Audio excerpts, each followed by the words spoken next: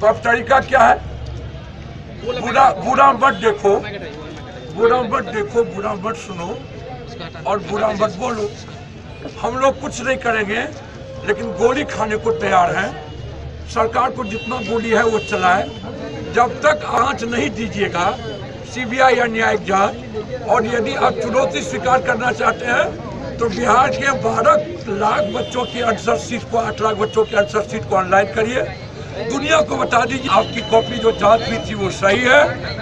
आप बेईमानी मत करिए हिम्मत है आपको तो। बिहार के छात्रों को गाली तो बना ही दिए बाहर। आप गोली मत चलिए अब गोली के गोली के डर से हम लोग पूरा बिहार के छात्र मुँह में ये ये सिक्कर हाथ में सिक्कर आप यदि वहाँ ताला लगाने नहीं दीजिएगा जहाँ पर चोर बैठा हुआ है आप यदि वहाँ बड़का चोर जहाँ बैठा हुआ है, सचिवालय में वहाँ ताला लगाने नहीं दीजिएगा।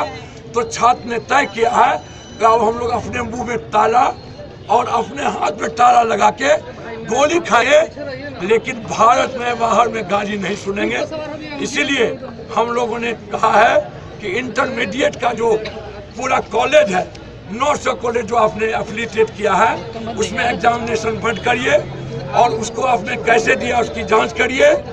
और गणेश राम को जो आपने जेल भेजा तो उसी आधार पर लालू यादव के जी के दोनों पुत्र जो एफिडेविट दिए हैं, छोटका बड़का बड़का छोटका तो एक को जेल तो एक को बेल क्यों? तो ये दो तरह के न्याय नीतीश जी क्यों करते हैं? अब तो न्याय के मामले में जाने जाते हैं। अब तो चुनौती स्वीकार करने के मामले में जाने जाते हैं। इसलिए बिहार के छात्रों की चुनौती स्वीकार करिए।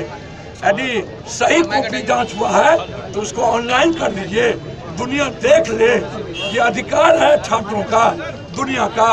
और हम लोग गलती मान लेंगे, आंदोलन वापस कर लेंगे कि गलती हम लोगों ने की, और आप को मुक्त कर देंगे। लेकिन ये जो लड़ाई है, ये लड़ाई बहुत बड़ी है। इस लड़ाई को हम लोग मर के लड़ेंगे और ज़रूरत पड़ेगा तो बिहार बन जाए किसी भी कीमत पर।